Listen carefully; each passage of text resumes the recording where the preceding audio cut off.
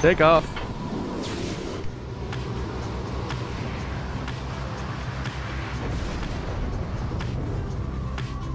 Who's over here? Ragged Rock and Underking Pass.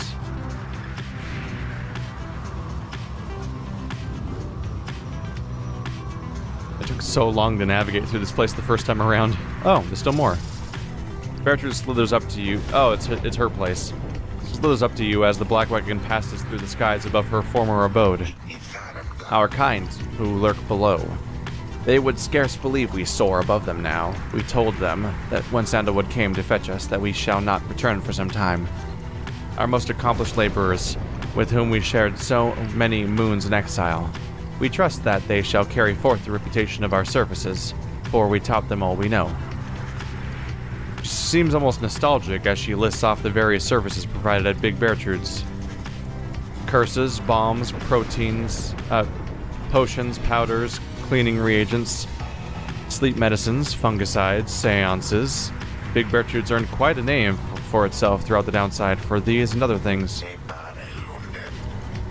When we are finished here, provided we do not return from whence we came, we shall re- return to our establishment and carry on our business there, for there is much demand. Well, hopefully you'll get to go home instead, but we'll see. Here we are. The spring of Jomware ha- has always flown forth from the crushed carapace of Bealanthes, the legend of whose demise is a rather sordid tale. Perhaps you have already read it in the book.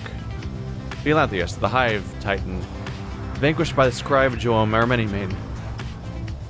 From its remains flows a rejuvenating spring which gladdens up the valley's desolation. Book of Rites.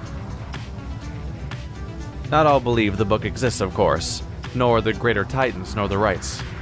I have encountered exiles believing that this titan perished quite by accident, rather than by a cunning trap laid for it by Jomor Amenimane. It took the titan for a common beast. Perhaps the stars shine down upon out of the way locales such as this one to ensure that they alone shall witness the proceedings. Our options are Glue Hive, Gilmore expressed an interest in exploring the pools. Pamitha has a hunch you may find something of value here. So it can go either way. Well, I've, been, I've given uh, Jodariel a number of attempts lately, so let's give Pamitha a shot. I think. Jomora Valley. You touch down in the heart of Jomora Valley, where you first, where first you face the Fates and the Dissidents. You briefly wonder where they might be now and how they fare. You now have little time before having to set forth by land.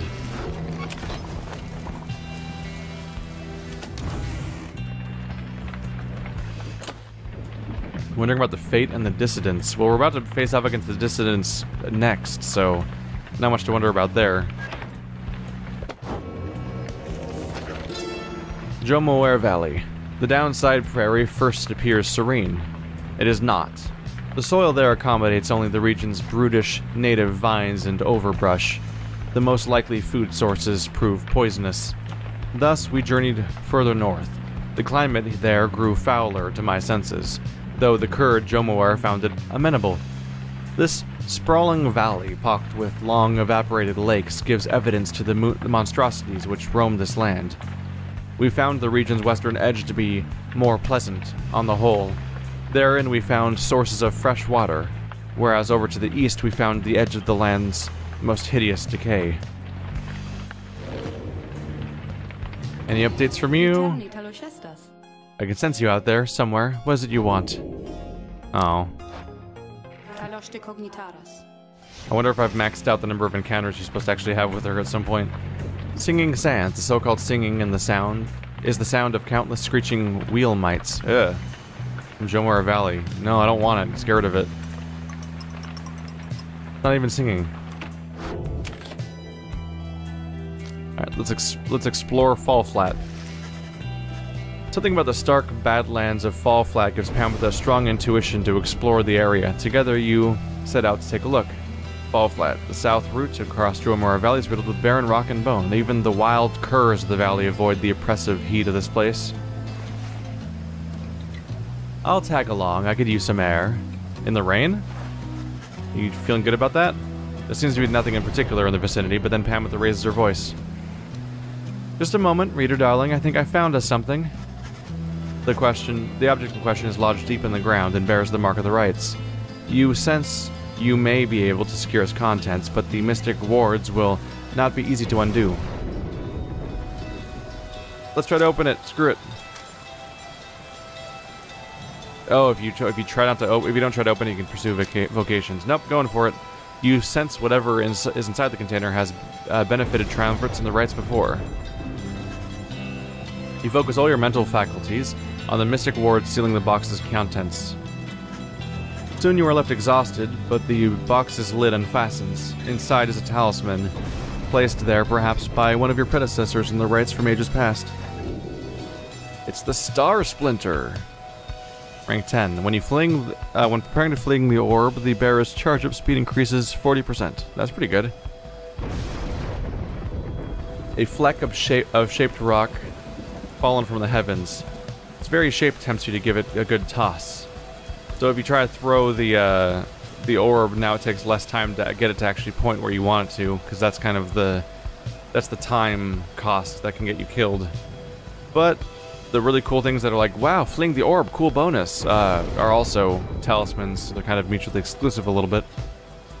Not a mechanic I use too much. I always, mainly because I always lose when I try to do it. It always doesn't work out for me. Pamitha is staring out the window as you approach. I miss flying, reader darling.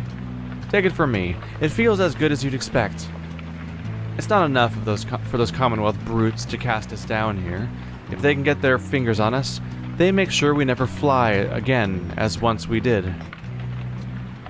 All while calling it an act of mercy. Let me ask you something, hmm? You've learned a thing or two. What have your studies taught you of my kind? Ooh, we're learning about the harps. We're reflecting on them. You can say that you know the violence they uh, they have caused, what they have suffered, that you share a common ancestor, or you know little of their kind. Let's see.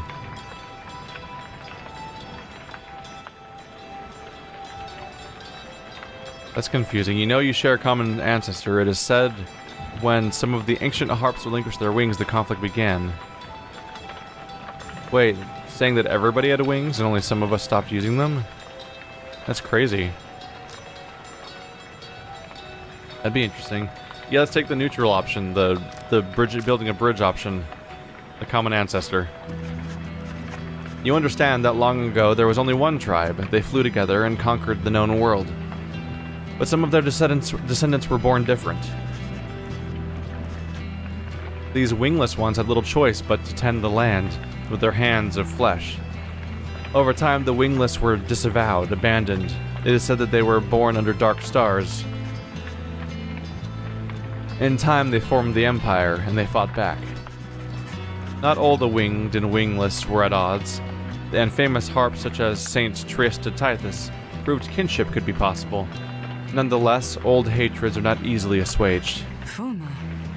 That is a fairly ac- is fairly accurate to our account of things. So, in a manner, you yourself are brother to me. My my kind certainly aren't known for their good sense of humor, I can tell you that. My little tongue got me into no small amount of difficulty until I learned to keep it well under control.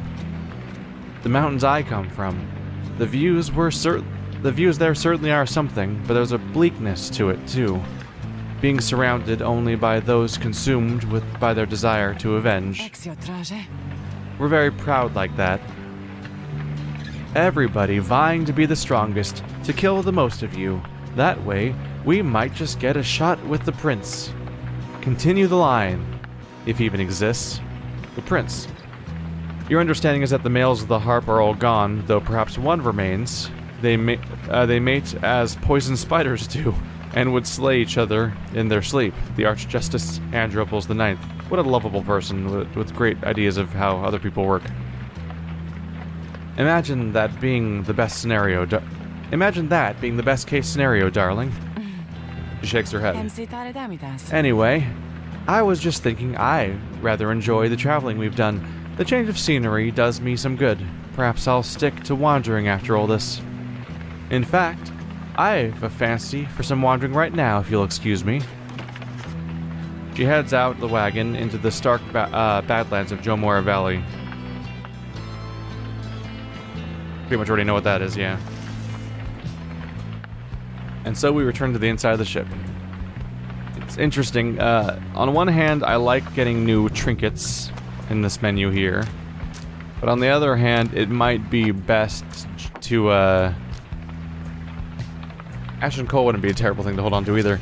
It honestly might be best because of the low values of the items and the fact that I almost never actually find stuff I want because I'm so happy with the stuff I already have. It actually might be better to focus on vocations, but the scenario where I get to get an item also is like a story scenario, and I kind of want to see those play out. So I might still keep doing those instead of vocations, even though I would benefit better from vocations. Eh, mixed responses. The game finds its chances to tell me to do vocations regardless.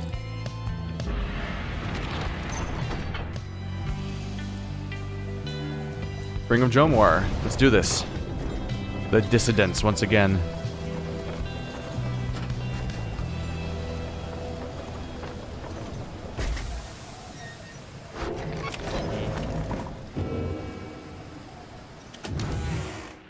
And what do we have here? The Spring of Jomoer, from Loose Glory and Hundred Minds the Scholar. I ofttimes think the carapace of the hive titan Bealanthius shall be an everlasting blemish on the almost splendid bit of on an on an almost splendid bit of land. But Jomaware in his brashness felled the monster with a certain flair. Yes, the moon shone through the ridges of the massive carapace, and shined upon the pooling ichor, turning it into the freshest nectar ever to be tasted. The spring shall flow eternally, and those who walk within it shall experience the resplendent glory of the land. The stars began to fall there in the spring with regularity, and we know now, we now know how soon again they shall do so, and we wish for you to see it for yourself. It was like a, some sort of giant. Oh yeah, it's a giant scorpion monster that's been crushed by a boulder because apparently Jomoware was just the biggest badass. Look at this thing. It's huge. Hey, guys. You know what I was thinking? Maybe I should just have a sale or something here sometime, but then, again, my prices are just as low as they can go, so I don't think I can. Just can't do it, guys. I don't believe you. There's the stuff, plus five. Did I just sell this? It's only worth 13, so it's like not even worth selling. I don't like selling stuff in general, even though I know I'm not going to use like any of these. This one's only plus two quickness. I guess it would be more quickness if I bought if I used the thing on it. Either way, I want this. There we go. Plus four quickness. So maybe when you max it out, it becomes plus eight quickness, which could be pretty good actually. There's a lot of quickness. Yeah, it might be worth upgrading with when I run out of other stuff to upgrade. So, be seeing you guys. Downside climate.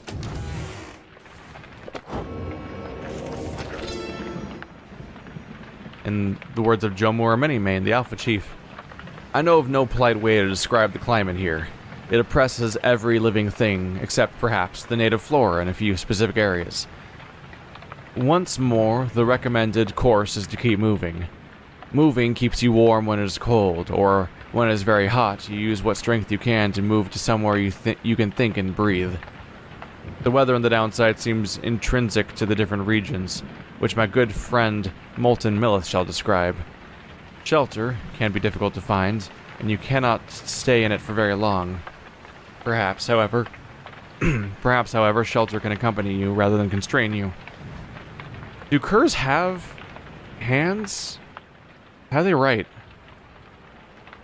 How does he write? Uh, did they not have paws? I'm trying to remember Rukey's hand now. Did he ever? Did they ever show up? I didn't think about this. Now it's too late. I didn't think about this when I had the chance. Oh no. As you await the stars, a form dressed in raiments of the rites approaches you and Volfred. You at first presume it to be one of your next adversaries, the dis dissidents, but he cannot be one of them. Beside you, Volfred starts, something you have never seen him do. You observe the colors that he wears, an inverse of the Nightwings. Volfred's sandalwood it has been a while. No, this cannot be. The demon unfastens his mask. It can. You perished. I watched you fall. You did. I grieved for years, yet now you live. I do. Although these horns, they grew long ere I could walk again. Unbelievable. And why are you here now, Oralech? Oralech is a former exile the Nightwings betrayed and abandoned in his moment of glory. You know full well, Volfred, to reclaim what is mine by right. The demon Oralech leaves without another word, just as the stars above burst to life and seem to be set, set the sky aflame. Wait, is he in the other group? Has he joined Barker? Has he re replaced Barker? Time Singer Harn. Your adversaries shall receive plus 50% stamina for use with their abilities. No. Too busy being on hard mode.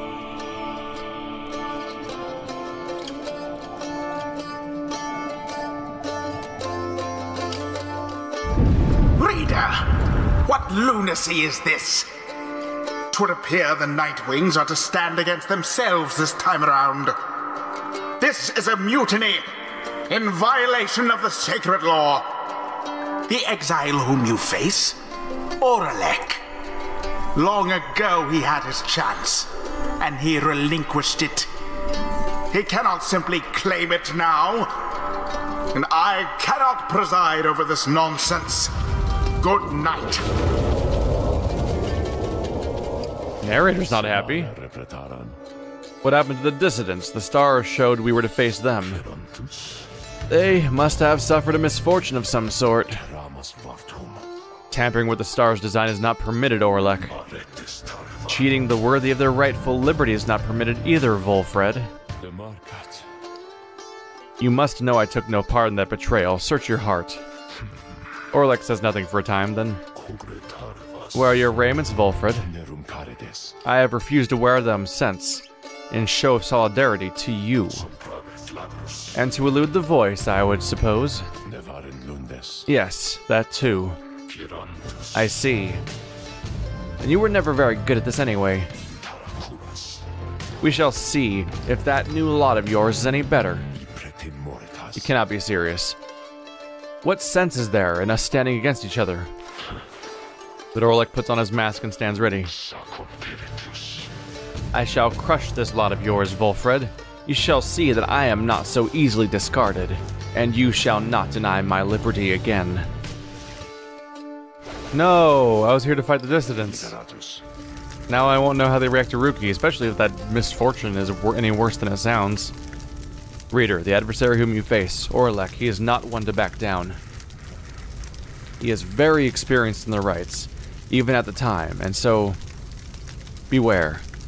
There was no one in his day who could prevail against him, and he appears even stronger now. I wish I had more valuable advice to give. In this, I, I wish I'd foreseen this. Uh-oh.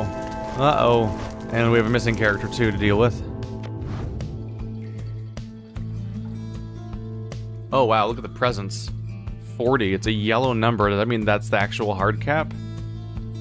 Rank overwhelming. Ooh. 40. That's gargantuan and uh, irritating. He has 20, 20 glory. Alright. Long stride. If using rush to lunge forward, Oralech can rush again right away. Brazen manner. For seven seconds after, uh, once, for seven seconds after saluting their adversaries, Oralech deals an additional 10 damage to the adversary's pyre. Shit. Crushing heal. When landing from a jump, Oralech briefly stuns nearby adversaries. That's the usual one. I basically just assume that they have that usually. Look at his character bio. Better take a brief drink of water.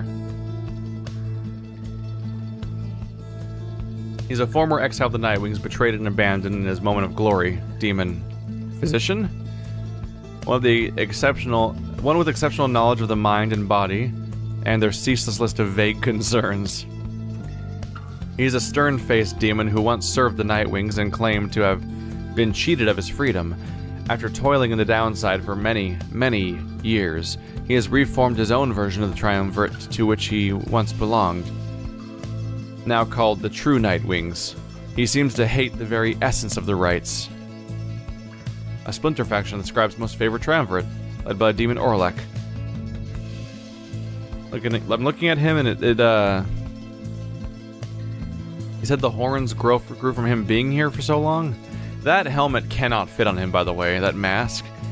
Like, I know they have to make all the characters look identical, so they based all of the helms on basically Jodariel, but uh, he has two horns coming out of his forehead. That can't possibly fit. Sounds like his legs and his horns might have been broken, and his horns may have grown back over time. Oh, that's those are sleeves. Never mind. I thought that the uh, I thought that sleeve, the first part of the sleeve, I thought that was his previous horns, like the original thickness, and then new horns started growing out of their stumps after they broke off or something after some tragedy. But it seems like that he has strange little sleeves on his head for some reason, looking like an, uh, one of those uh, paintings of like Japanese samurai a little bit. Well, Big Bear Bertrude still has plenty to go, and shooting through barriers is kind of amazing. With this crew, I'd probably have to go with Gilman and Pamitha. I don't think I want. I don't think I want to double up on two heavy hitter defensive characters, especially if, uh, well, not a crazy idea, because uh, Jodariel's the big, slow, lumbering character, but uh, you can actually uh, get some mileage. Get that bonus damage in there, Gilman. You're gonna be a primary scorer, probably. Dariel. Right. I forgot to check their things to see if I could upgrade their ranks. Crap. Let's see. So you're the one that has the, yeah, farther and faster aura. Oops. Clicked on the wrong thing completely. Nailed it. Yeah, 30%.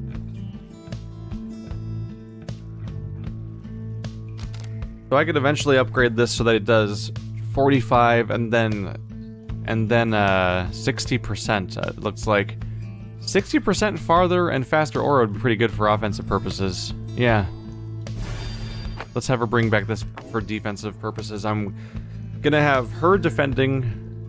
I think Jodariel and Milith are not Milith. Uh, Jodariel and Bertrude are gonna be on defense mode, and Gilman's gonna be on offense, and then when Gilman's consumed in the pyre, then Bar Bertrude will probably be scoring at that point.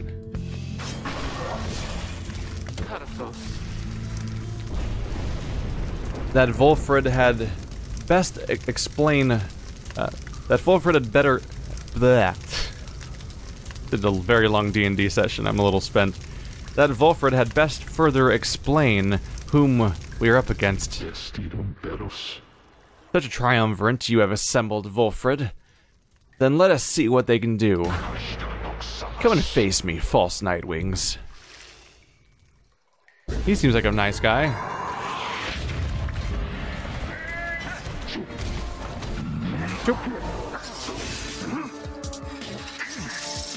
Oh, damn it. There's Tizos are so fast. Woo! Oh, out of stamina. That's not good. Gotcha. I've got the big aura. Oop.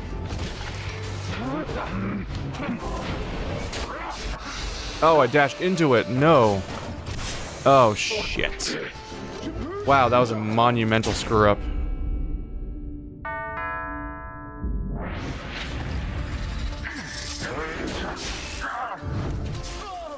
I didn't hit you?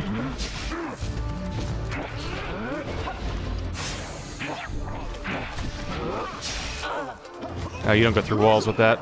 Mistake on my part. Whoa! Whoa, he jumped far. Damn those characters.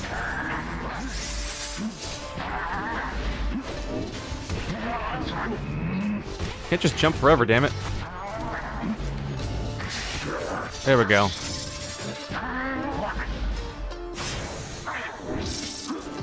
Gotcha. Plus five. That's a little bit of catch up. He jumps a lot. Yeah. There goes the aura. Oh. Oh. Oh, shit. Ah, I have such bad reactions to some of these moments. No.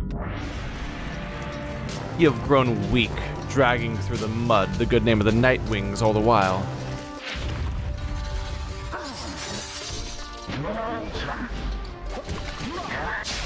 Ah, you got me? Shit. Oh, you got me too. Son of a bitch. Did I get you? Good. Oh, Jesus. Ah! Ah, no. I didn't jump in time? No! I want to jump. Dariel? Oh shit, your tiny aura. Jesus! Oh my god, his aura's ridiculous. Stop that.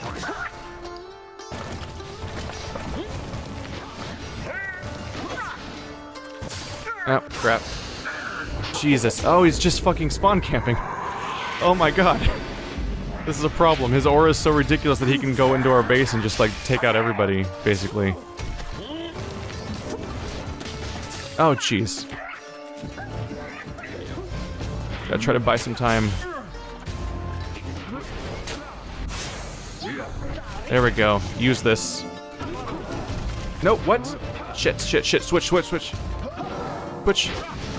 Switch. Switch. What? No. How did I get over here? Shit. No. Fuck. Couldn't.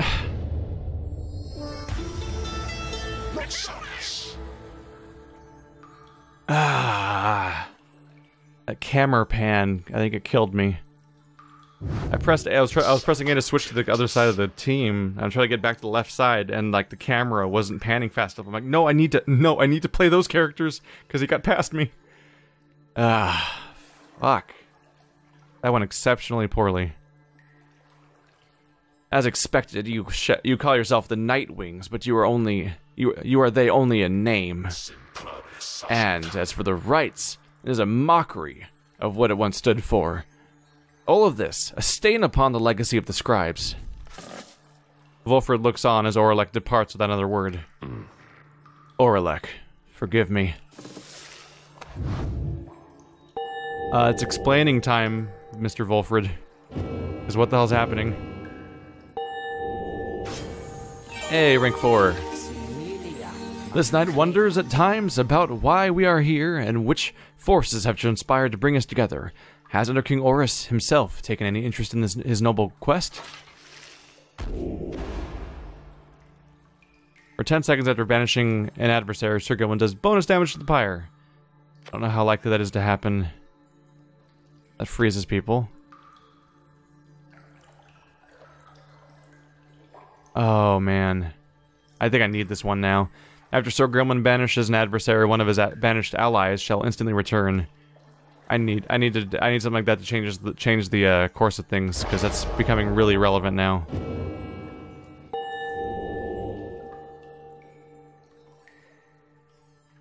I gotta get used to these strange new characters I'm playing as. Because the core people are kind of swapped out, the really reliable, easy characters. Because I couldn't even use Faye in that one.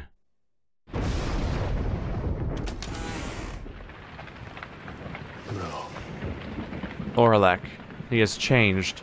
Scarce resembles now the ones the one with whom we traveled then. I'm afraid so. I can only begin to imagine what he has been through after all these years. Reader, as you can see, Oralech and I, we have some years in common. A story for another day. I think some time... I need some time to look at how all this affects our plan. 45% for now. Reader, sir, Oralech is a is a principled person. His freedom was denied him just when it was his in his grasp, a doleful tale. Volfred shall tell you more of him in due time, of that I have no doubt.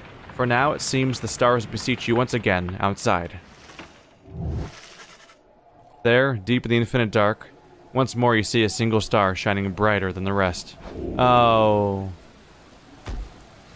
Liberation time? This has been a weird journey. We have a, a, a match I threw on purpose, a match yeah, it was a match I threw on purpose, followed by a match where uh, we were on a special weird island, followed by a match that I lost. Is he on here?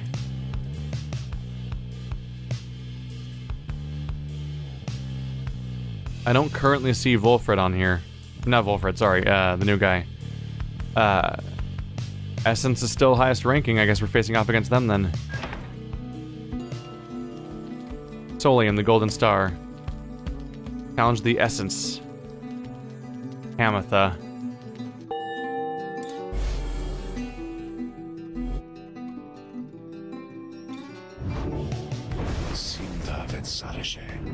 Once more then, onto the fall of Solium. Excellent. Our plan proceeds at pace. We need but continue to make good on all the such opportunities the stars present, so much as, possible. Then our ranks within the Commonwealth may yet grow strong enough that we shall sway the people toward our cause. It shall be difficult, but the people have their hearts and conscious and and consciences, and the Commonwealth has long since lost its way. The never-ending wars of the High-Wing remnants, the passing of more sentences of exile than ever before, for increasingly more dubious causes, the burning of books, the outlawing of literacy, these are corruptions of the teachings of the scribes. Together, we shall prove it soon enough. Volfred, sir, what of Oralech? Volfred says nothing in response at first, but then Oralech appears to have his own agenda now. We shall have to try and keep an eye on him, although our plan remains the same. Anyway, we have a mountain which we need to climb. Let's all rest up a bit, if possible.